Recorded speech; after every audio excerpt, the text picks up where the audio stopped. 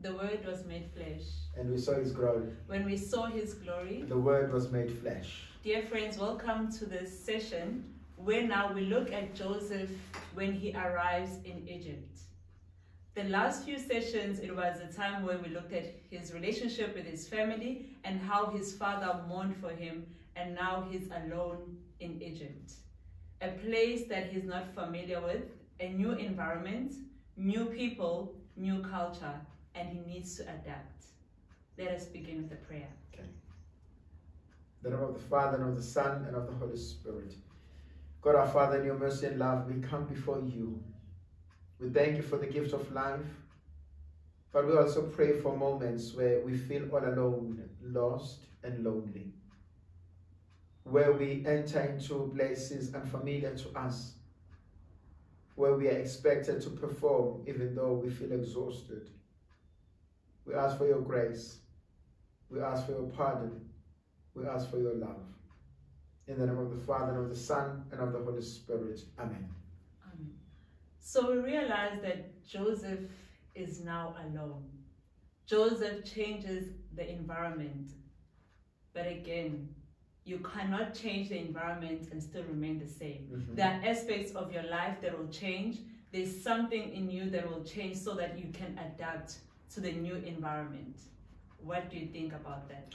You know, the, the story that he he leaves his brothers, you know, and, and when I still argue that he was probably young when he left. You know, he leaves his, his brothers, he's relatively young, he's sold out, and he goes rightfully so into the foreign land. And they're probably different language, or maybe you could understood. One would argue it's a different language, and we will pick that up later on because when his brothers come back and they speak in the language they don't think Joseph understands because they think this is just a- an Egyptian who, who doesn't understand our language. So he's lost his father, he has already lost his mother by then, and now he's lost his brothers, and he's all alone, and he feels like, what do I do? And the other issue that speaks to me is being shipped from the Ishmaelites to the uh, to the uh, to the Midianites and now to, to the Egyptian. So he's moved from three different homes. It's like someone uh, coming from a, a- an adoption uh, process. You know, this family, no. That family, no. This family, no. Or someone going through rejection. Uh, I'm not good enough for you, then you, you leave me. I'm not good enough for you, then you leave me. Somehow that hurts. And, and it dents one's image of self. But the author doesn't say much about Joseph in that regard. He doesn't tell us how this, how did this psychologically, emotionally drain or affected him. But rather we hear that he goes into Egypt and in Egypt he's sold into the house of uh, Potiphar, who was a eunuch. And we will unpack that he goes there into the house of the eunuch. But we'll look into that uh, later on. I also think that Joseph was in a season of mourning like his father because he's trying to find who he will become after this entire experience. But at the same time, there's no one who understands where he comes from. No one who understands his story. No one who understands that he was sold and he was never loved by his brothers. But do you think he really understands what was going on in his life? Do you, do, do you think he was looking forward to what he will become, or was he just stuck in the pain and the suffering?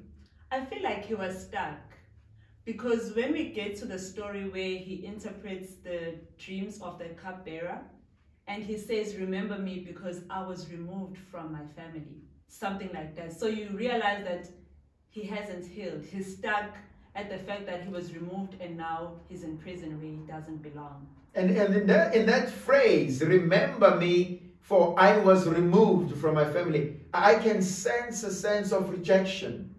Don't forget me now. I've helped you out. Don't forget me. But we will talk to that when we speak to Joseph uh, uh, uh, in prison. What, what I would like to unpack uh, is he's sold into the house of Potiphar, who is a eunuch.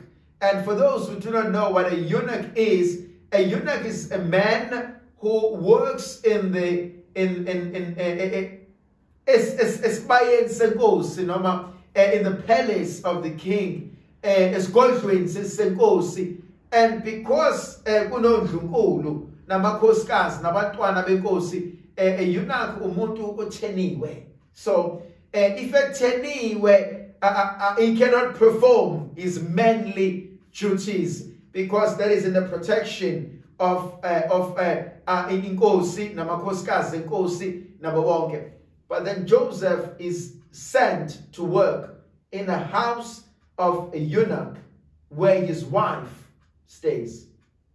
Do you see that the dilemma there? Yes. now you have a wife who's been married to a man who later on became a eunuch.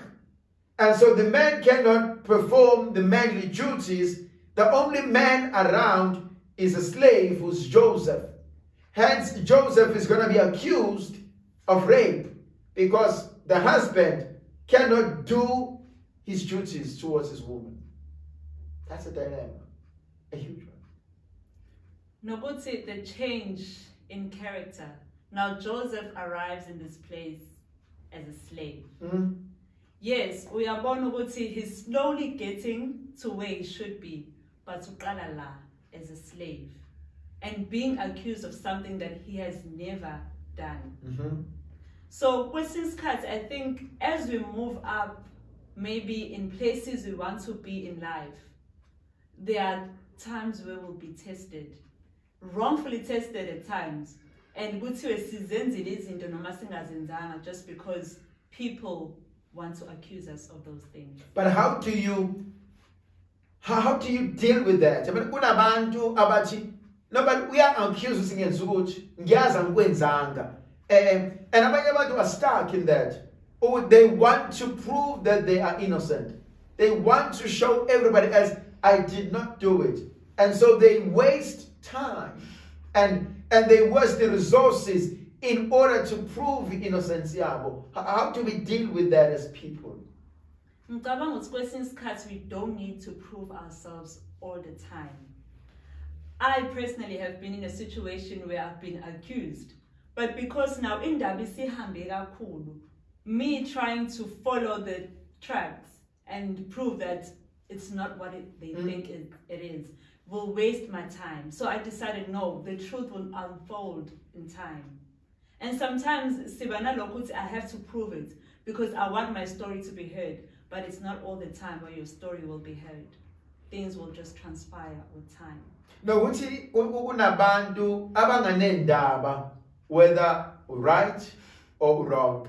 And so you soon realize ukuthi trying to prove your innocence it's a waste of time. So try and live your life as best as you can. So now in this story we find joseph being accused of rape. And, and if you go back to the text uh, he runs out naked e- endlini kankosikazi kaPotiphar. And if egijima enqunu amemeze lo ngaphakathi ukuthi uma ungafuna ukuyenza into enguthi yenze ngizotshela abantu angihuli and so everybody else believes because vele uphuma enqunu and how many people have become victims of that? You know i'm thinking how many people have been accused of things they didn't do how many people have lost their families of the things they didn't do. They've lost their jobs. You know, khona omunye umuntu ozokushiya into enze into athi awube ngidlala. But udlala kanjani impilo yami? Udlala kanjani when I've lost everything? How do you do that? And that's the story of our lives. and how many people have been stripped naked and never had a chance to actually tell it was it's not what you think it is And abanye ended up taking up their lives. Let's pray for those. If you've, if you've gone through that, if you've experienced that pain, when everybody else bayakhona ukuthi ukwenzile but wena uyazi awukwenzanga there's joseph but you know the sad part is the silence of god because uyayibuza ukuthi uphi unkulunkulu makunje if uJosepha ngempela ngempela wonke amaphupho akhe ayeyiqiniso uphi pho uNkulunkulu when he's being accused uNkulunkulu wathula when I need him the most. And, and he's going to end up in prison. Was God silent or was he there? I feel like he was there. But kwamngela ukuthi uJoseph abone.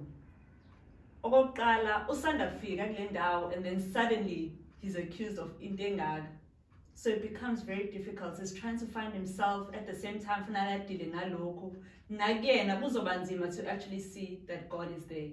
Ukhona kanjani uNkulunkulu if you are allowing me to be humiliated?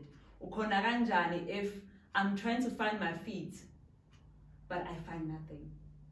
You know, in the silence of God, there's a story of Joseph and the rape.